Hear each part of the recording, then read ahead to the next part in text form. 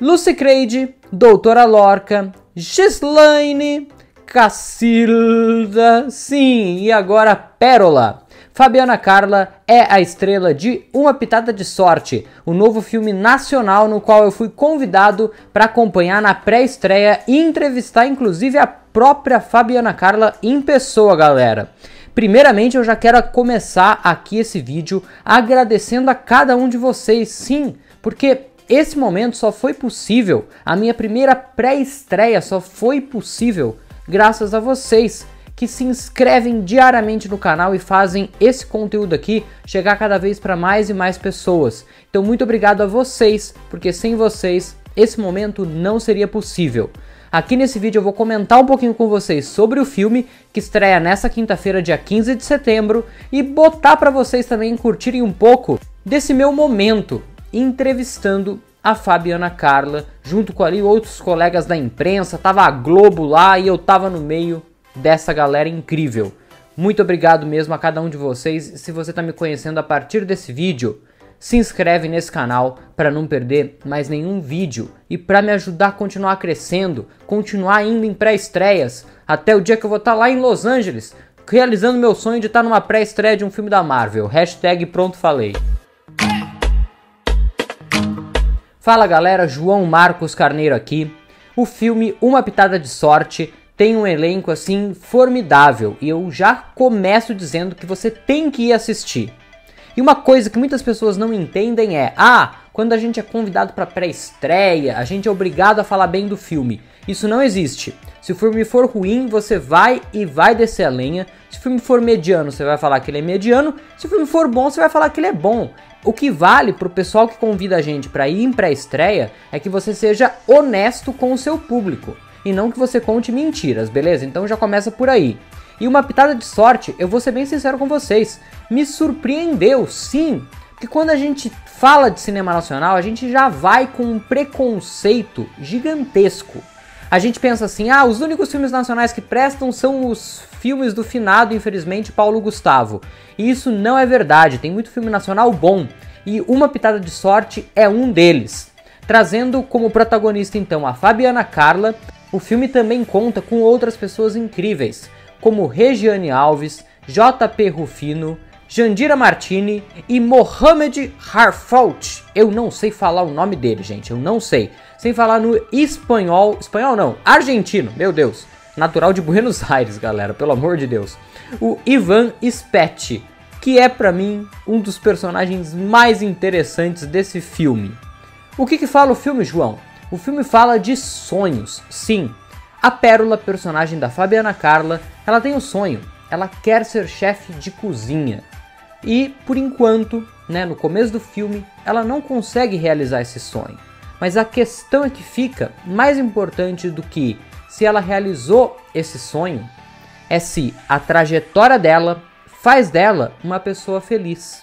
Essa personagem chama-se Pérola e é uma mulher que vive entre esses dois mundos, de agradar a família e de persistir em busca do seu sonho. Eu acho que a gente faz muito isso, né? De querer agradar todo mundo e nem sempre dá certo. E dentro disso tudo a gente tem é, várias situações onde essa mulher é testada, onde ela às vezes dentro do próprio emprego ela se sente preterida, mas tudo isso com muita leveza, muita alegria, afinal de contas eu acho que na vida todo mundo quer uma pitadinha de sorte, né? Aliás, você mesmo aí, já parou para pensar se você é feliz com aquilo que você faz, trabalha, com a sua vida pessoal, com as pessoas que você tem em volta? E a pérola, ela é, eu diria, o brasileiro, a brasileira mais pura. Por quê? Pura não no sentido de puridade, de castidade, mas no sentido de representar muito bem aquilo que é um brasileiro batalhador, lutador que tem o seu sonho e que luta por ele, e eu me sinto muito representado na figura da Pérola também. Não querendo me achar e falar, nossa, eu sou um brasileiro puro. Não, tem gente aí que tá me assistindo que tem uma vida muito mais complicada do que a minha. Eu tenho Pô, certeza absoluta disso, não é sobre isso. Mas é sobre você falar, eu tenho esse sonho e eu vou lutar para conquistar isso. E não sou eu nem eu que estou falando isso, é a própria Fabiana Carla, inclusive. Mas eu acho que o principal é isso, persistir em busca do seu sonho, não perder né, essa habilidade de sonhar, porque eu acho que a gente foi perdendo com todo esse cenário que a gente tem, tanto esse cenário que a gente está vivendo, quanto é, político, como também na, área de saúde. Então a gente foi perdendo essa capacidade de sonhar. E, e o ser humano sem sonho não é nada, né?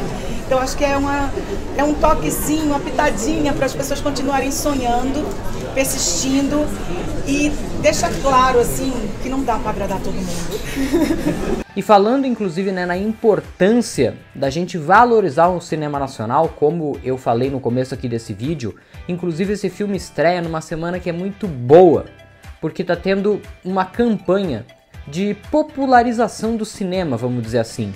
Entre essa quinta-feira, dia 15 e dia 21 de setembro, você que for em cinemas assistir filmes 2D nas redes Cinemark, UCI e Cinépolis, vai poder pagar apenas 10 reais para assistir o filme. Qualquer filme, 2D. Então, aproveita essa oportunidade, dá uma chance para o cinema nacional, porque eu tô dizendo para vocês, galera, esse filme ele merece e ele precisa ser assistido. Inclusive eu conversei justamente sobre essa questão com a Fabiana. A importância de você estar tá, num momento como esse retomando o cinema e a cultura nacional. A gente tem que valorizar demais o nosso conteúdo BR, galera. Inclusive, a gente tem a minha mãe, que faz, que faz a minha mãe, que é a Jandira Martini. Ela é uma ufanista, ela é uma pessoa que é, fala muito com, com, muita felicidade a respeito do Brasil. Eu acho que é um momento da gente é, lembrar que a gente tem muita coisa boa no nosso país, como os nossos poetas, é, nossos livros. Tem, tem, Machado de Assis, tem é, o nosso folclore. Então, ela traz isso, ela tem esse orgulho, sabe? E traz isso para o filme de uma maneira muito leve, muito feliz que vale muito a pena. E assim, é, eu vou te dizer que eu me emocionei muito, muito, muito, porque trazer essa alegria para todo mundo depois de, de. Assim, a gente está voltando aos pouquinhos, mas eu acho que é um momento que as pessoas precisam desse alento. Então eu espero que todo mundo deguste esse filme como um prato quente, sabe prato de casa de vó? E ter essa sensação. E eu espero que vocês, quando assistirem, saiam daqui felizes e reverberem isso, sabe? Porque eu acho que a arte, ela arrebata. E ela faz isso, ela vai em camadas espalhando essa alegria, esse amor. E eu acho que a gente não tem pretensão, a gente só quer fazer a nossa arte e fazer ela cumprir o papel dela. Nesse caso, ela vai ser um entretenimento, vai ser é, algodão entre os cristais, vai trazer hoje é, todo mundo aqui que está um friozinho gostoso, vai todo mundo sair com o coração quentinho. Então, já fica a dica aí, pessoal. Nessa quinta-feira, dia 15, estreia Uma Pitada de Sorte você tem que ir no cinema acompanhar. E agora aqui no final do vídeo eu deixo mais alguns trechinhos da conversa que eu e o restante ali da imprensa tivemos com a Fabiana nesse grande evento. Muito obrigado mais uma vez a cada um de vocês que fizeram esse sonho ser possível, certo? E ao Iguatemi Campinas aí, toda a assessoria de imprensa da Fabiana pelo convite, por essa oportunidade. Mandem mais jobs, mandem mais jobs, mais entrevistas que eu adoro fazer. Isso tá na minha veia de jornalismo, de jornalista, me fez voltar lá no passado quando, pô, vocês nem sabem dessas histórias, mas tipo, eu trabalhei durante muito tempo no Globo Esporte, aqui de Campinas, minha cidade, interior de São Paulo, e eu, pô, eu tive a oportunidade de entrevistar grandes figuras, personalidades do esporte, época da faculdade, que a gente tinha inúmeras entrevistas para fazer. Isso me fez voltar lá no passado. O João Marcos da época da faculdade, que foi de 2015 a 2019, depois de formado também. Então, assim, esse momento foi muito importante para mim como a primeira entrevista que eu fiz aqui no canal. A gente tem uma outra entrevista já com a Bianca Alencar, mas não fui eu que fiz a entrevista.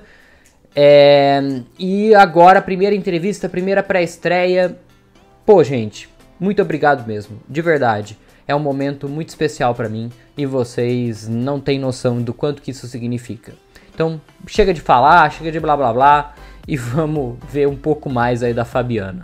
Esse filme foi o filme que eu fiz como protagonista pela primeira vez. Eu estreiei outro filme onde eu produzia e atuava, mas esse filme, eu só sou atriz, mas foi meu primeiro filme como protagonista. Foi um filme que eu fui desejada, porque naturalmente o processo é que você tenha um filme e você convide o artista. E esse filme não. A Glaucia, a produtora, e o Pedro Antônio, que, são, que é o diretor, eles quiseram trabalhar comigo e criaram um filme para mim. Então eu me senti muito lisonjeada.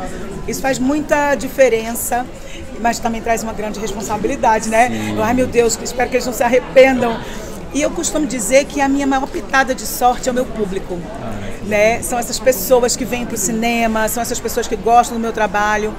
E eu acho que uma coisa que marca muito é eu ser um protagonista. Hum. Eu tenho um, eu sou uma, uma, mulher que, para alguns, eu estou fora do padrão, porque eu estou super dentro Jamais. do meu padrão. Tá maravilhosa. Eu estou super ok, mas eu sou protagonista, sendo nordestina, sendo uma mulher gorda, sendo comediante, sendo mulher. Então eu acho que isso diz muito nos tempos de hoje, onde as pessoas precisam de reconhecimento, precisam se reconhecer. Então isso fica muito legal mostrar para que, as, que as outras pessoas que se identificam comigo entendam que elas podem ser sim protagonistas das suas próprias vidas, das suas próprias histórias. Olha, eu acho que a gente sempre empresta um pouco da gente para os personagens e eu acho que os personagens sempre deixam algo na gente.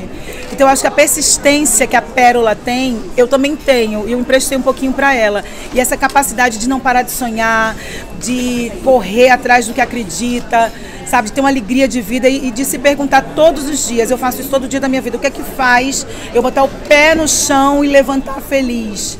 E aí eu, eu tento ficar em busca disso, porque eu acho que a gente tem que garantir isso sempre na vida. Em qualquer etapa de vida, você tem que perguntar assim, o que é que me faz feliz? Qual é o sentido da minha vida? E acho que hoje, mais ainda, depois de tudo que a gente passou, acho que todo mundo mergulhou para dentro e se faz essa pergunta. Então, acho que a pérola chega um momento que ela vai em busca do que ela acredita que vai fazer ela feliz. Então acho que ficou um pouquinho assim, foi uma troca muito justa, generosa de Pérola com Fabiana e de Fabiana com Pérola. Acho que todo mundo na vida, gente, quer uma pitadinha de sorte, não é? E eu acho que é um momento da gente espalhar esse tempero de amor, de sorte, de leveza nas salas dos cinemas para reverberar esse momento para todo mundo, porque a arte tem essa função, né, de arrebatar, de inquietar, mas eu acho que as pessoas estavam precisando desse alento, desse entretenimento, dessa alegria que a Pérola traz, junto com essa história maravilhosa, leve, simples, mas que eu acho que muita gente se identifica, né? A gente tem história de amor também. Quem nunca se apaixonou é, quando era mais jovem, aquele amor juvenil que a barriga, sabe, daquele nozinho pela melhor amiga, pelo melhor amigo, né? E às vezes fica com vergonha de dizer para não perder a amizade. Então tem tudo isso misturado, né? E bem batido, um bolo bom para vocês degustarem nas telas dos cinemas a partir do dia 15. Tem uma cena aí que eu corro vestido de galinha. E nessa cena era um calor tão grande lá no Rio que eu desmaiei. Aí hoje eu conto sorrindo, porque eu imagino uma galinha desmaiada. Mas foi punk na hora, mas tudo pelo cinema, tudo pela arte. Eu tô muito feliz e vivo o cinema brasileiro.